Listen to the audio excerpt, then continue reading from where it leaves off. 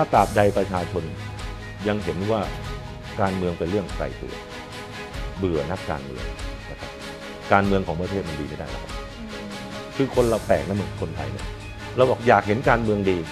แต่เกลียดการเมือง เกลียดนักการเมืองค่ะนะครับ